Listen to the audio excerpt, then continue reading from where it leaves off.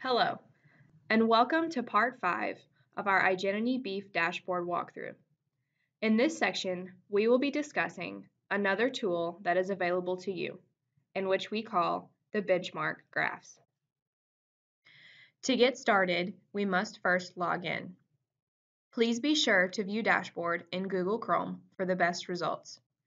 Once you have reached igenitybeefdashboard.com, enter your email and password to log in. As a reminder, in order to view multiple orders at once, simply click the check boxes next to the orders you'd like to include. Once all of those orders are selected, you may click View Herd Results. To utilize some of the tools available on Dashboard, open the drop-down menu by selecting the blue Tools button in the top left-hand corner. In previous sections of the Igenity Beef walkthrough, we have discussed how to export to Excel as well as create a custom index. For this section, please click Benchmark Graph if you wish to view your herds data as a comparison to the reference population of Igenity Beef. Once you select Benchmark Graph, you will be brought to the Benchmark Graphing page. This option is a way to compare the cattle that you have tested with others in the Igenity reference database.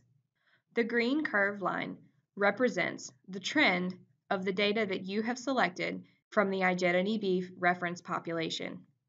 As an example, the animals currently selected from the Confidence Cattle reference database have more cattle with Igenity scores 5 and 6 for calving ease maternal than the reference population.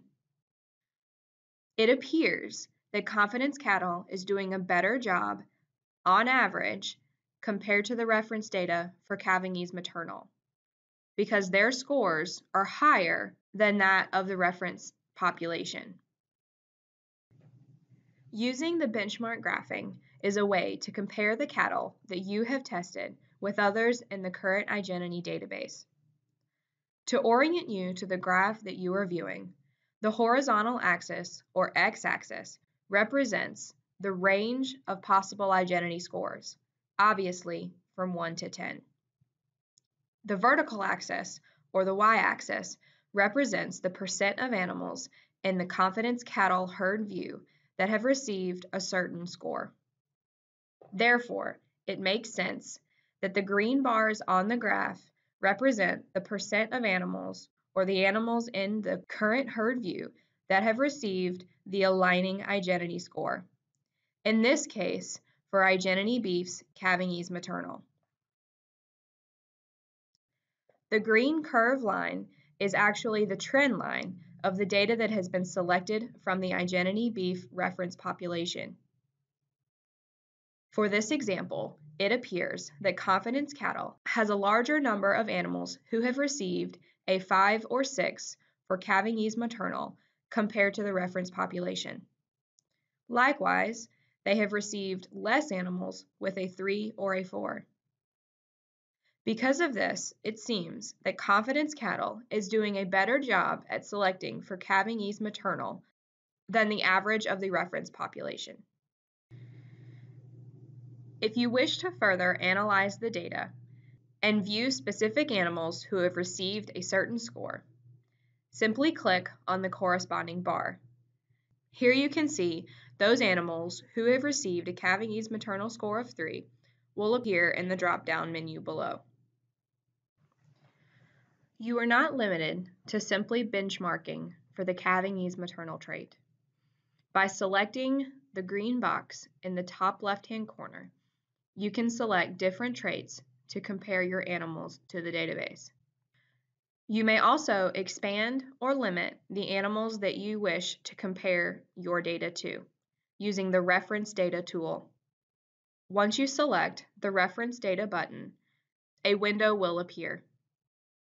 The options you can use to limit or expand the data include comparing to your herd only, controlling the sex of the animals you're comparing to, changing the sire or dam breed, the country of origin, or the state. As you change these options, the arrow on the benchmark strength graph at the bottom of the box will change. This indicator shows the strength of the benchmark data that you are comparing to, with the red being the lowest and thus the weakest reference data, and green being the strongest. Please note that we do not recommend comparing to a reference database with a red benchmark strength, as that might be too low for meaningful comparison. The final option, when on the benchmark report page, is the ability to create a full benchmark report. This tool allows you to compare animals to others for multiple traits at once. When you select that button, another box or menu will appear. This box allows you to select what specific traits you wish to have printed in your benchmark report. You may select as many or as few as you wish. Once you have selected the traits of interest, simply click Create Report. Once you select this button, the report will automatically start downloading onto the page.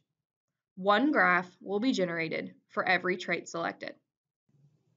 You will notice on the header of your report, your account or ranch name, in this case, Confidence Cattle Company, will appear, as well as the date in which the report was generated and the order numbers included.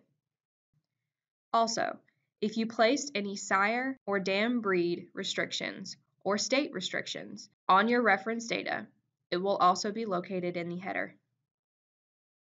Following, you will see the benchmark graphs that were generated for each trait you selected.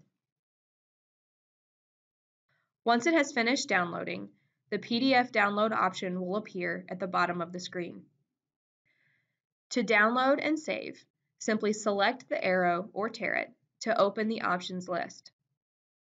Then select Open and the PDF will download into a savable or printable format.